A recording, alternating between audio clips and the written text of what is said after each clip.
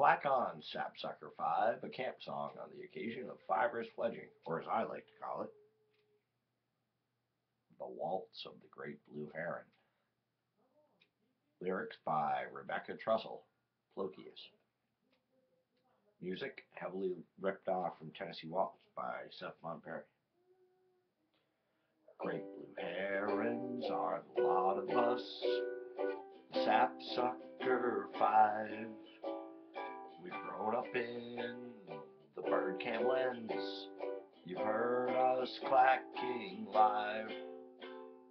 The froggies, legs for dinner, with koi on the side.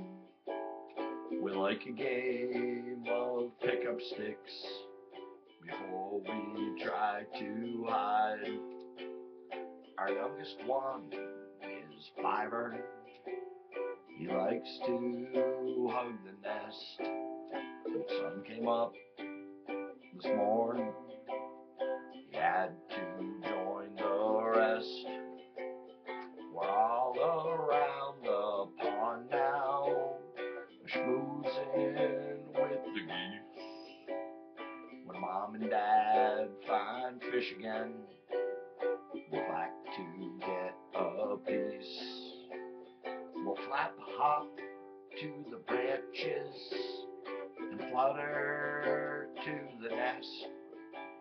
One by one, we'll hop slide in to get a well earned rest.